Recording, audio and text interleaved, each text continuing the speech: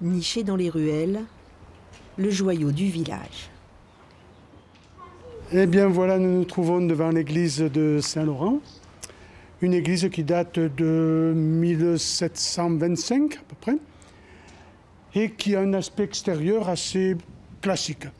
Et vous allez voir la suite, une église baroque avec... Euh, ah, vous allez voir. Effectivement, à l'intérieur, le contraste est saisissant. C'est grandiose. On est sur une magnificence dans un endroit qui est absolument splendide. De vastes fresques richement colorées en tableaux du XVIe siècle, le visiteur en prend véritablement plein les yeux. Mais il y a malheureusement tout là-haut un truc qui cloche.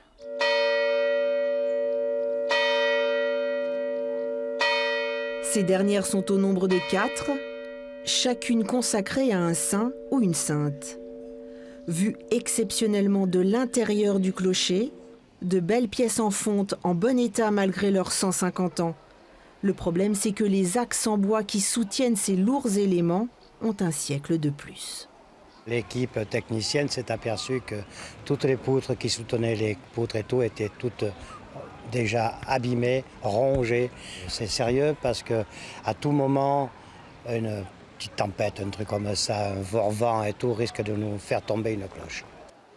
Petite fille et nièce de sonneur, la mère est très attachée à ce patrimoine. Pour réaliser les 10 000 euros de rénovation, elle a obtenu une subvention.